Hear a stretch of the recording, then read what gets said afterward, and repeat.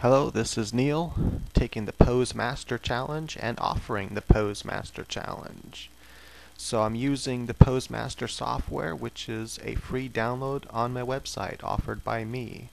I had the programmer that's work. I paid actually. I paid the programmer that's working on uh, my video game that I've designed and did all the artwork for, and uh, so I had him just design this for me really quick. It's really cool software. I teach how to use it in another video, so uh, definitely check out the other video on how to use uh, Pose Maniacs. Uh, not Pose Maniacs, excuse me. It's like Pose Maniacs, but better.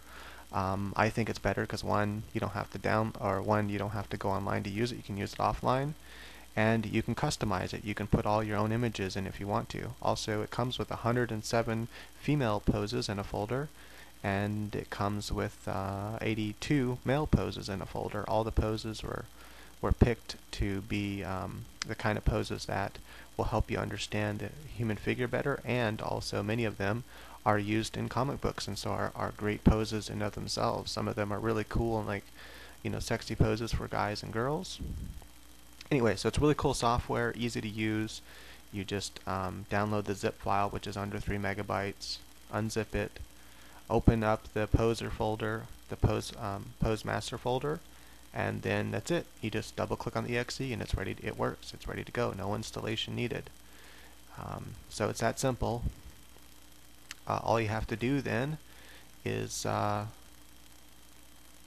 go after you after you open the software is just go to add folder click on the add folder button and then you know browse to wherever you unzip the folder to and then in that folder in the pose master folder there is two folders um, pose female and pose male. And you just pick either one and then it'll load all those images in it like instantly.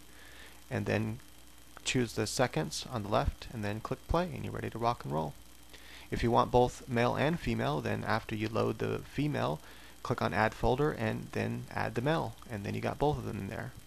I also plan on uh, making two more folders that will be with the software in an update. Uh, one will be for children poses, and another one will be uh, for face expressions, happy, sad, so forth, both male and female. And actually another one is going to be of hand gestures. So just a bunch of hands. That's going to be fun. Uh, but man, to do a hand in only 90 seconds, that's difficult, but we'll see what happens. And so what happens here is I run out of time, but I decide, you know what, the hell with it. I'm going to spend another 90 seconds to just, you know, tighten it up a little bit. Um, I tend to like bigger, wider hips, so I, I, usually just naturally draw wider hips even if I don't see wider hips on the female. I mean, I could make it look like the person I'm looking at, but I tend to like wider hips. I usually do that. And I forgot what her hands look like, so I, I just like made it up in my head because I couldn't remember. Uh, so I just uh, kind of had her hands coming down. But yeah, anyway, so um, you know the the pose challenge is really fun. Um, my problem is with 90 seconds, I'm trying to accomplish too much. I'm trying to get too much detail into it.